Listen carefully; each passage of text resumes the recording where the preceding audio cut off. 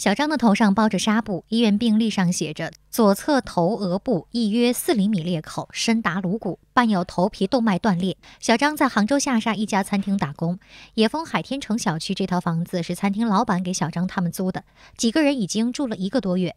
小区物业提供的监控画面显示，三月十五号晚上九点二十七分左右，小张和两位同事准备走出单元楼，走在最前面的小张把一扇玻璃门往外推到底。玻璃门随后发生了爆裂，然后玻璃整个爆下来，嗯，然后我躲了一下，没躲一下，那个铁就砸到我头了。第一把的话是玻璃整个玻璃盖下来了，嗯，然后砸到我头，嗯，然后我摸了一下没没有出血，啊，然后放开了，快进来，他就出血了。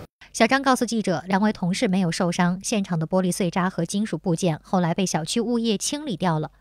小张在采访中提到的那个铁，指的是玻璃门的磁性门吸。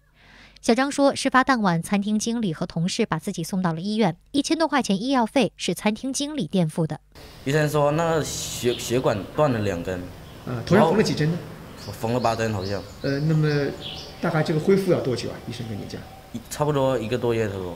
小张的叔叔说，事后他找到野丰海天城小区的物业办公室反映情况，保安队长就说先看病，可是因为他做不了主，他要他要。问问领导，我是在旁边听到了他们两个在通话。他说走程序，我也不知道他走什么程序。啊，那么现在你们家的要求是什么呢？我现在就是要一个说法。等下小孩子他又要去医院去复查，还要去换药，是不是？你作为这个物业，你总得拿点出诚意来啊。小区物业的安保经理表示，事后他们查过事发监控，也向公司反映了小张受伤的事情。安保经理认为，玻璃门爆裂可能和小张的推门动作有关。